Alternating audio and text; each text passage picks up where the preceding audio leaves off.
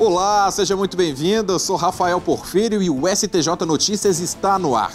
Afastada a insignificância na importação de sementes de maconha pelo correio. Na reportagem especial, vamos ver quem tem direito à pensão alimentícia, quem é obrigado a pagar e o que acontece com quem não cumpre a determinação da Justiça. E ainda, a pena restritiva de direitos não admite execução provisória. O STJ Notícias começa agora, conectado a você.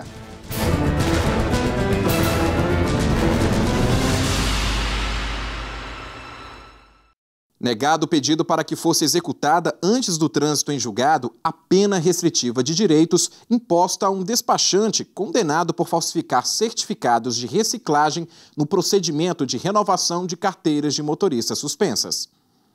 A quinta turma do STJ, por unanimidade, negou o pedido do Ministério Público do Estado de São Paulo para que fosse executada a pena restritiva de direitos imposta a um despachante, condenado por falsificação de certificados no processo de renovação de carteiras de motoristas suspensas. De acordo com a denúncia, os beneficiários das falsificações não frequentavam os cursos e nem realizavam as provas para que tivessem a nova habilitação.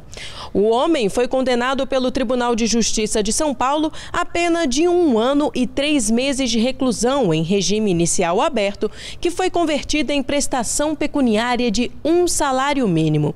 A defesa do réu apresentou um recurso especial aqui no STJ, alegando que não foram realizados realizados todos os exames necessários para comprovar a acusação. Durante a tramitação do recurso da defesa, o Ministério Público pediu a execução provisória da pena. O relator, ministro Ribeiro Dantas, destacou que, segundo a Justiça Paulista, as provas foram suficientes para comprovar a acusação contra o réu. E, em resposta à solicitação do Ministério Público, o ministro explicou que a execução provisória não pode ser feita em casos em que são aplicadas penas restritivas de direito. Nesses casos, a execução só pode ser feita após o trânsito em julgado. Superior Tribunal de Justiça concede liberdade a um preso depois de entender que a audiência de custódia, mesmo gravada, exige fundamentação por escrito. O ministro do STJ, Rogério Schetti Cruz, afirmou que a gravação da audiência de custódia em meio audiovisual não dispensa o juiz de fundamentar por escrito decisão sobre a eventual manutenção da prisão. Para o ministro, a gravação é opcional, mas somente ela não é suficiente para se manter a prisão, pois viola a exigência constitucional de que todas as decisões judiciais devem ser fundamentadas por escrito. O caso analisado ocorreu na Bahia.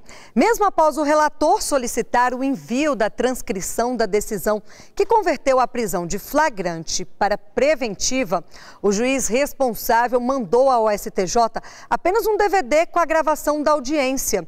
Segundo o ministro Rogério Schietti, este tem sido um problema cada vez mais comum na justiça criminal, com juízes se limitando a dar decisões orais a respeito de prisões. Ele explicou que a falta da transcrição inviabiliza o controle judicial. Por isso, o ministro aceitou o pedido de liberdade do acusado em caráter liminar. Schietti determinou ainda o envio de ofício ao Conselho Nacional de Justiça, órgão responsável, entre outras funções, por fiscalizar a atividade de juízes, para que tome as providências cabíveis. Mantida a prisão preventiva do ex-ministro da Fazenda e da Casa Civil, Antônio Palocci, denunciado na Operação Lava Jato por corrupção passiva e lavagem de dinheiro. A repórter Jéssica Castro tem os detalhes. O Superior Tribunal de Justiça manteve a prisão preventiva do ex-ministro Antônio Palocci, denunciado na Operação Lava Jato por corrupção passiva e lavagem de dinheiro. O STJ não verificou o constrangimento ilegal que justifique a soltura de Palocci, chamado de italiano nas planilhas da Odebrecht.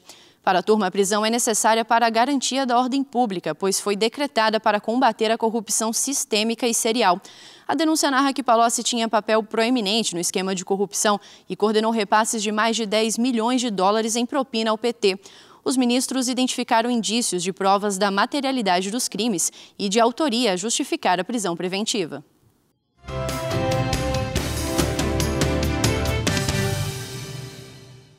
Olá, você que assiste o STJ Notícias. Olha, nesta semana vale a pena acompanhar a programação da Rádio Justiça. Vai ao ar o programa STJ Cidadão, que vai falar sobre o sistema penitenciário brasileiro. Nós vamos falar sobre as rebeliões, ressocialização e o papel do Estado. E no quadro STJ Entrevista, vamos falar sobre condução coercitiva convidamos um especialista que vai explicar como funciona essa ferramenta e quando e como ela pode ser usada. Tudo isso e muito mais você acompanha na Rádio Justiça e também na nossa página na internet. Depois do intervalo, vamos mostrar o que diz a legislação quanto à pensão alimentícia. Aqui no estúdio eu converso com a advogada de direito de família Marcela Furtz. Não saia daí, eu volto já.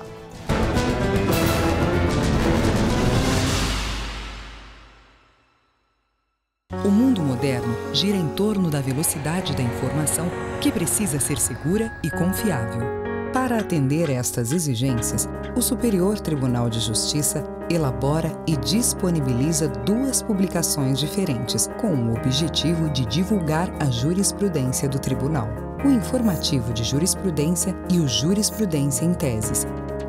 Para acessar o informativo, basta entrar no site oficial www.stj.jus.br, clicar em Jurisprudência e, em seguida, em Informativo de Jurisprudência. Aqui você acessa as informações mais recentes sobre súmulas, recursos repetitivos e outros julgados selecionados. E pode consultar por edição, por data, com arquivos organizados em ordem cronológica e reunidos de acordo com o ano de publicação ou separados de forma temática, por ramos do direito. Também é possível fazer pesquisa livre por assunto. Outra publicação quinzenal do STJ é o Jurisprudência em Teses, um caderno temático elaborado a partir da análise de toda a base de acórdãos e decisões monocráticas do Tribunal, onde você encontra os entendimentos existentes no STJ sobre temas específicos selecionados de acordo com a relevância jurídica. Você pode consultar as teses por edição e separado por ramos do direito, ou fazer uma pesquisa livre por assunto. Fácil, rápido e eficiente. É a busca pela excelência no atendimento a você, cidadão brasileiro. Superior Tribunal de Justiça, o Tribunal da Cidadania.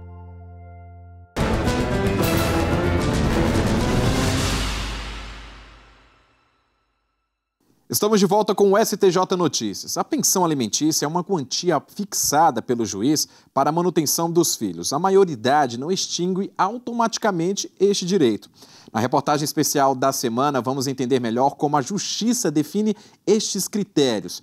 E para nos ajudar a esclarecer esses detalhes, eu recebo aqui no estúdio a advogada de direito de família, Marcela Furtz.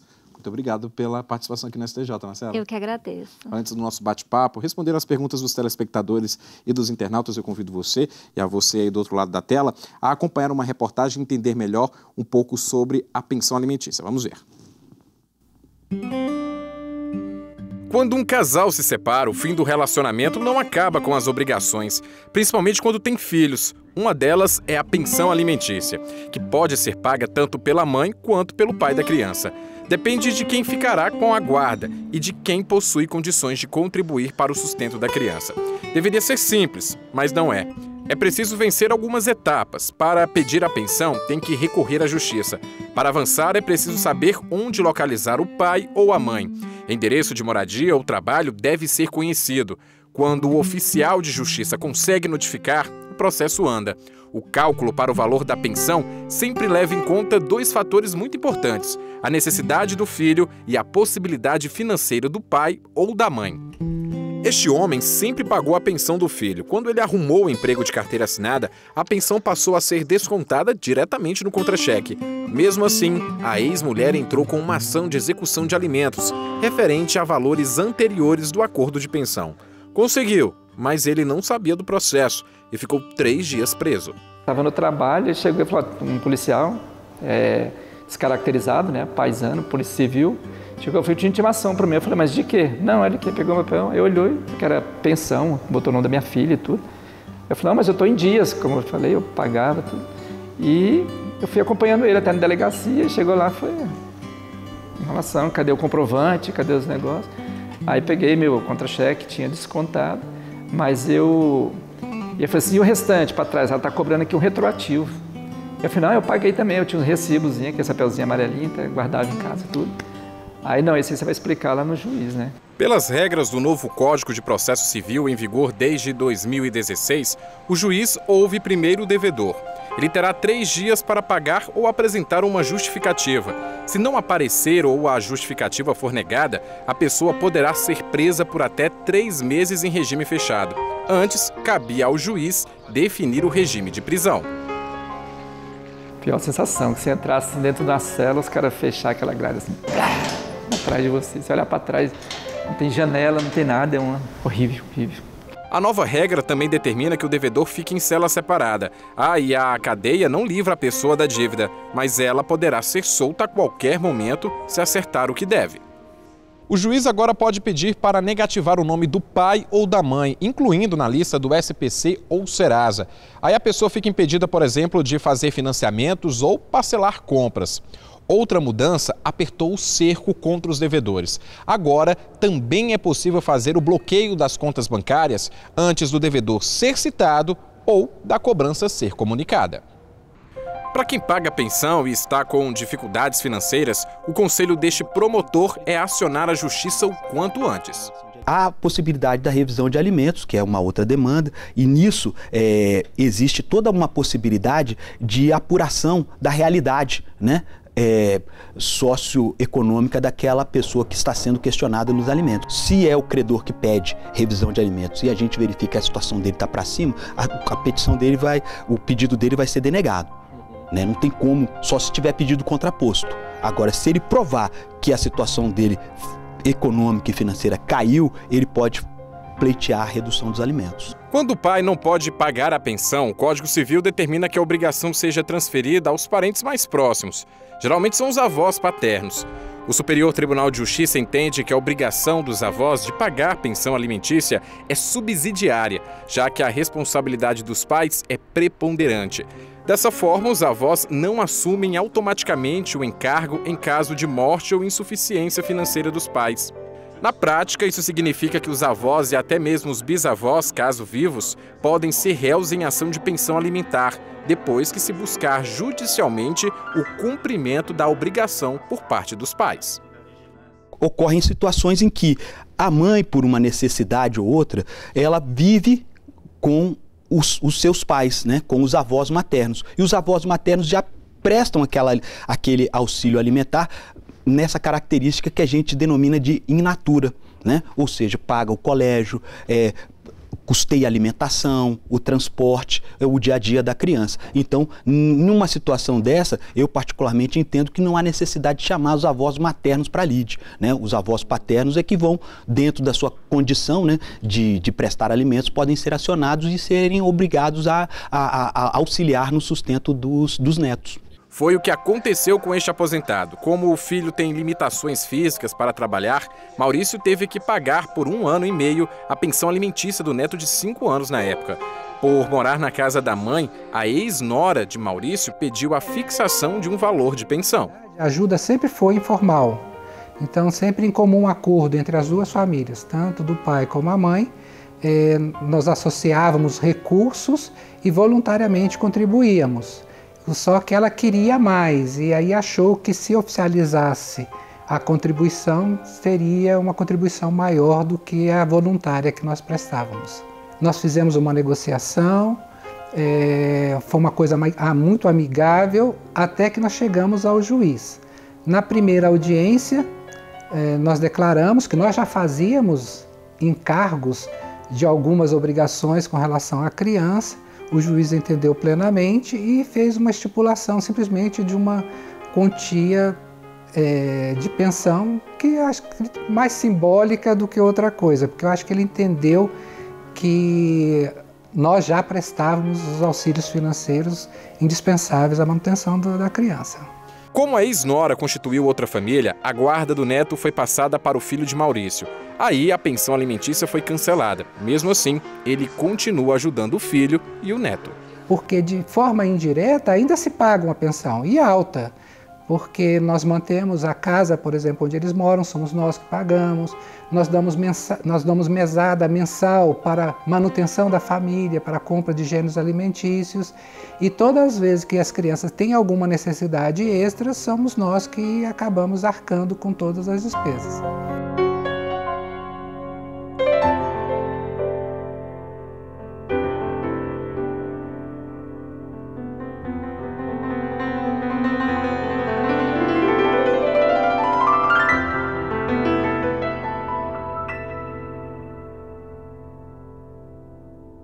Pois é, doutora Marcela, nós vimos aí que até um entendimento do STJ, primeiro é preciso analisar toda a situação do pai ou da mãe para o pagamento da pensão, para depois acionar os parentes, principalmente os avós, né? Isso mesmo. O Código Civil ele diz que os alimentos são devidos entre pais e filhos, de modo que se estende aos ascendentes, só que de forma suplementar ou subsidiária. Então, primeiro ver se os pais têm essa possibilidade, para depois passar para os avós, também verificando o binômio necessidade e possibilidade. Vamos às perguntas? Vamos. Vamos ver. A nossa primeira pergunta é da Vanusa. Ela quer saber: ingressei com processo contra o pai do meu filho, ainda grávida, no ano de 2015. Estou no aguardo.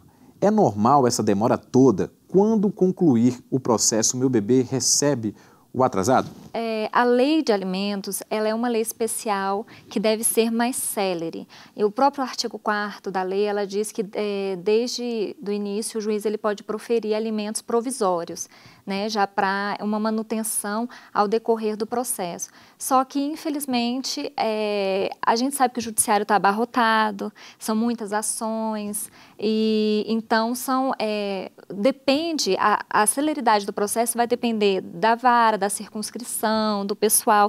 Não tem como a gente determinar um prazo que ele vai é, terminar. E no caso dela, que são alimentos gravídicos, também é, a lei de alimentos gravídicos ela determina que não precisa necessariamente da prova biológica, pode ser meros indícios da paternidade. Então, é, é, são alimentos que são dados de forma cautelosa. Né? Mas no caso dela, sim, a lei de alimentos ela diz que quando é, é, o retroage uhum. a citação da, da ação. Temos mais perguntas, vamos ver a próxima. Essa próxima pergunta é da Leilane. Ela quer saber qual a relação da pensão alimentícia e o FGTS quando a pessoa sai da empresa. É, Leilane, o que, que acontece? Quando é, quando é fixado o, o alimentos, ele é feito por meio de um percentual em cima dos rendimentos ou fixado em é, quantidade de salários mínimos. Quando ele é fixado sobre o rendimento da pessoa, normalmente é quando é servidor público, militar, é, tem, tem carteira assinada, né? Então, o que, que incide sobre esse percentual, né? É o rendimento líquido, que é, tira o bruto com os, os descontos necessários, que é imposto de renda, é, é, contribuição sindical e, e INSS. E o que entra também é 13 terceiro, férias. O que não incide é, o FGTS ele é uma questão que normalmente ele não incide, porque o FGTS ele é uma verba indenizatória uhum. do trabalhador. Contudo, cada caso é um caso. Então, houve já determinações de se colocar é, também, por exemplo, o pai ele ficou desempregado. Então, para poder assegurar o pagamento daqueles alimentos enquanto o pai está desempregado, que fosse retirado um percentual daquele FGTS. Só que, é, eu volto a dizer, cada caso é um caso. Tirou um pouco, assim, o FGTS, ele normalmente não incide. Só que tira essa parte da função dele, uhum. né, da, do tipo de verba que é o FGTS e para a finalidade do qual está podendo retirar do FGTS. Temos mais perguntas. A Dai, ela faz a seguinte pergunta: Fiz um acordo de pensão com o pai da minha filha, mas há algum tempo ele diminuiu o valor por conta própria. Isso pode? Não. Se é, esse acordo foi feito judicialmente, então há uma de determinação judicial daquele valor X. Se ele está passando por alguma dificuldade, ele não tem como marcar com esse compromisso, ele teve que reduzir, ele tem que entrar com uma ação de revisão porque ela pode, inclusive, entrar com uma execução da diferença desse valor que ele está deixando de pagar. Doutora Marcela, recebemos várias perguntas referentes à pensão alimentícia depois dos 18 anos. Vamos ver aqui, selecionamos uma, que é a da Laís. Ela explica a seguinte situação antes de fazer a pergunta dela, o questionamento. Eu tenho 23 anos e recebo pensão alimentícia do meu pai, descontada em folha. Porém, faço 24 anos em setembro e ele já disse que acabaria. Eu não comecei a faculdade ano passado por alguns problemas de saúde e não estou podendo trabalhar. Ele pode cancelar a pensão mesmo assim?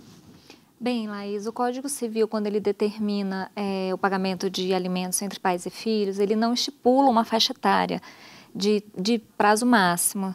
É, até porque é parte do princípio da solidariedade, é de acordo uhum. com a, a, necessidade da pessoa. Só que a doutrina de jurisprudência traz que é, os 24 anos é uma data razoável para se formar, terminar os estudos e ingressar no mercado de trabalho. Só que como cada caso é um caso, e no caso dela, como ela falou, ela está doente, ela não teve como ingressar é, no mercado de trabalho, começar os estudos, é, pode sim é, se estender o pagamento dessa pensão além dos 24 anos, desde que ela comprove essa necessidade dela, essa dificuldade. E se o pai, nesse caso, ele falou que vai cortar, então ele entrar com uma, uma ação de exoneração, ela pode responder nessa ação, demonstrando ainda a sua necessidade. É isso, Laís. Vamos para a nossa última pergunta? É da Vanessa, lá de Bangu, no Rio de Janeiro. Nunca trabalhei, pois cuidei dos meus pais. Me casei e logo tive bebês. Não pude estudar e trabalhar fora. Eu conseguiria pensão como forma de reparar meus anos de casada? É, Vanessa, esse caso é o caso de alimentos compensatórios. compensatórios. É, são alimentos devidos entre ex-cônjuges e ex-companheiros é, pela quebra da ruptura do relacionamento. Então, é, entende-se que o pagamento ele é feito a partir de alguns critérios. Né? Verifica-se se a mulher ela não teve condições de estudar, se ela nunca trabalhou, é, se ela ainda tem idade para que possa entrar no mercado de trabalho, se fixar. E muitas vezes é, a fixação do pagamento de alimentos compensatórios é feito talvez até num, numa fixação de tempo. Então, vê que ela tem uma idade ainda para se colocar no mercado de trabalho, ela tem capacidade para trabalhar, ela tem estudo. Então, isso vai, por exemplo, colocar durante dois anos, durante cinco anos, que é o prazo que ela precisa para se restabelecer. Agora, tem casos também de relacionamentos que duraram muitos anos, uhum. já é uma senhora, nunca pôde trabalhar, nunca conseguiu estudar, então a pensão ela não é fixada por prazo, porque a, o pagamento de alimentos compensatórios é uma forma de indenização. É isso, eu conversei com a advogada de Direito de Família, a doutora Marcela Furtz. Muito obrigado pela sua participação aqui nesse TJ Notícias. Eu que agradeço, obrigada. E no próximo bloco, afastada a insignificância na importação de sementes de maconha pelo correio. Não sai daí, eu volto já.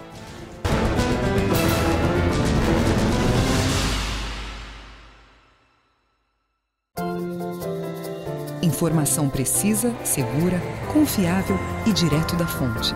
Na página da jurisprudência do Superior Tribunal de Justiça, você encontra tudo isso e muito mais. Para acessar, basta entrar no site oficial www.stj.jus.br e clicar em Jurisprudência. No link Legislação Aplicada, você encontra o entendimento do STJ sobre a aplicação de determinado dispositivo legal. Isso mesmo, aqui estão os dispositivos legais estudados e anotados com a jurisprudência mais recente do Tribunal. Já no índice remissivo dos recursos repetitivos estão todos os acórdãos dos recursos submetidos ao rito dos repetitivos que já tenham sido publicados. Organizados por ramos do direito, você também pode consultar em pesquisa livre. A página da jurisprudência ainda oferece as súmulas anotadas do STJ com trechos transcritos de julgados do tribunal. Você pode pesquisar por temas, pela ordem crescente ou decrescente dos números das súmulas ou por pesquisa livre.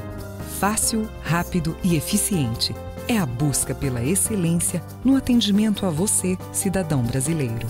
Superior Tribunal de Justiça. O Tribunal da Cidadania.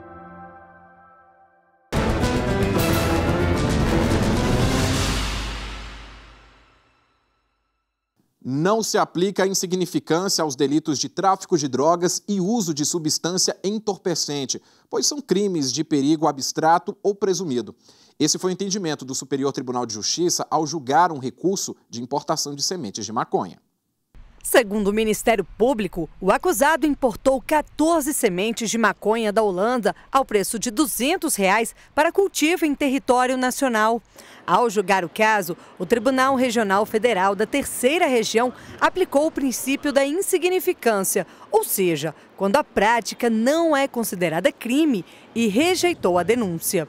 O TRF chegou a essa decisão por entender que a quantidade de sementes era pequena.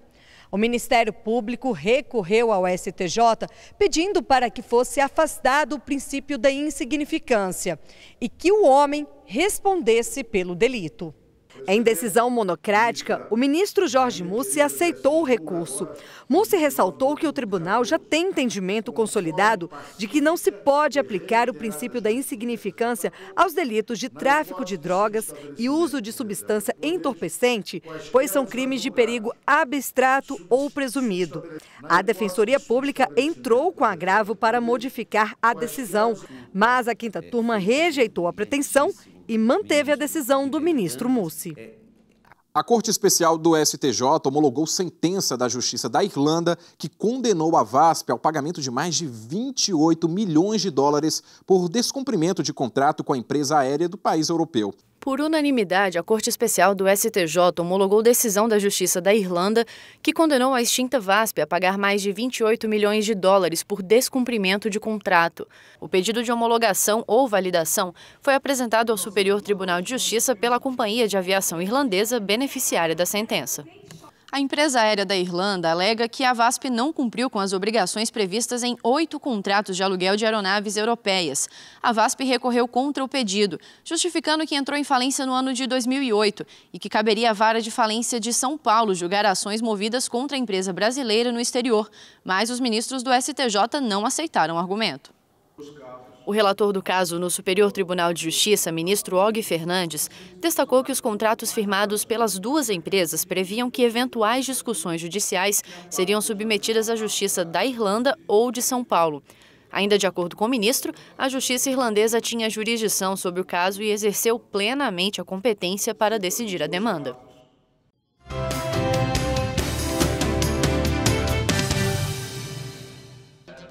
Os ministros da primeira turma do Superior Tribunal de Justiça decidiram apreciar o mérito do processo que discute a cobrança de uma dívida de 310 milhões de reais em ICMS ao estado do Amapá e não recolhidos pela BR Distribuidora da venda de óleo diesel para Eletronorte entre os anos de 2003 e 2005. O relator, ministro Benedito Gonçalves, entendeu que não seria possível analisar o recurso especial interposto pela distribuidora, mas a maioria dos ministros votou para que seja julgado o mérito do caso. O STJ negou o pedido de liberdade ao empresário Ike Batista. Ele foi preso em janeiro deste ano, após investigações de uma operação da Polícia Federal. A decisão foi da ministra Maria Tereza de Assis Moura, que negou o pedido de habeas corpus da defesa do empresário. No STJ, a defesa alegou que liberdade do empresário não colocaria em risco o processo penal. Mas, para a ministra, a prisão foi necessária para apurar fatos concretos nas e para garantir a ordem pública. O STJ Notícias termina aqui, mas na semana que vem, novas decisões dos ministros do Tribunal da Cidadania. Você participa do programa enviando sugestões de temas ou perguntas por meio da página do STJ no Facebook ou de uma mensagem no WhatsApp. E ainda acompanhe o que acontece no tribunal pelas redes sociais e pela página na internet. Muito obrigado pela participação e te espero semana que vem. Tchau!